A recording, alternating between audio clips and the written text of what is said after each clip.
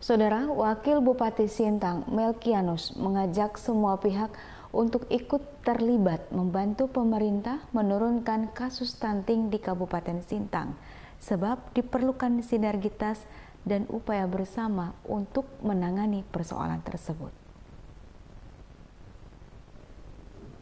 Gangguan tumbuh kembang anak stunting saat ini menjadi satu di antara permasalahan yang terus ditekan kasusnya oleh pemerintah termasuk oleh Pemkap Sintang. Wakil Bupati Sintang Melkianus mengatakan, hingga kini Pemkap Sintang sudah melakukan berbagai upaya untuk menurunkan kasus stunting, seperti melakukan pendataan, memberikan bantuan asupan gizi kepada ibu hamil dan balita, pelayanan posyandu hingga ke tingkat dusun, dan memberikan sosialisasi dan edukasi kepada masyarakat tentang tata cara mencegah stunting. Untuk menurunkan kasus stunting, pemerintah tidak bisa bekerja sendiri.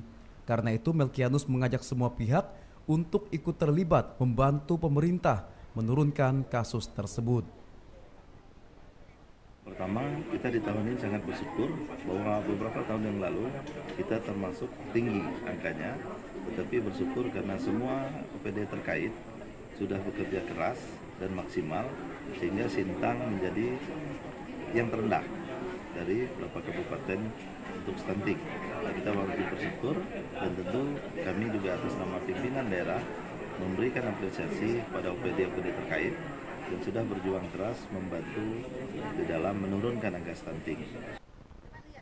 Melkianus juga mengatakan jika seluruh pihak berkomitmen bersama membantu pemerintah, ia yakin kasus stunting di Sintang bisa ditekan. Dari Kabupaten Sintang, Bobirianto, Ruai TV mewartakan.